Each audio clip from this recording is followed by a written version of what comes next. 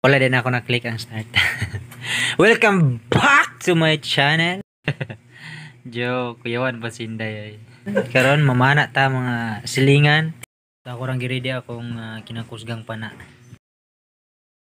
O di po ta pakansi ato pong iridi ang atong uh, pangsikad para maapsan jud nato atong isda.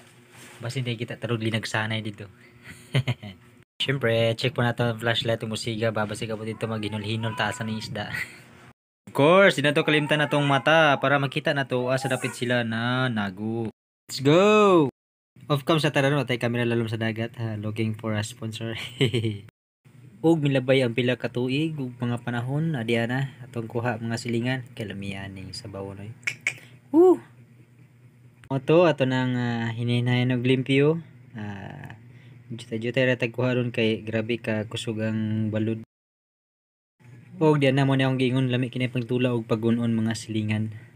Yung bahaw ni ron tulong singot na to ani ba. Lami adig bukal na gid siya gigutom na jud mga silingan la excited na kay kumakaw na ni.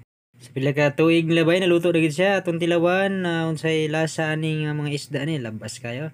Ah lami sa bawa ni hurutin ang bahaw ni Sumora to mga silingan, lihog lang po ko og uh, subscribe diha para mudaghan akong kuha. Aw, oh, subscriber day. So, dinan ko to. Kita kita tapon mga silingan.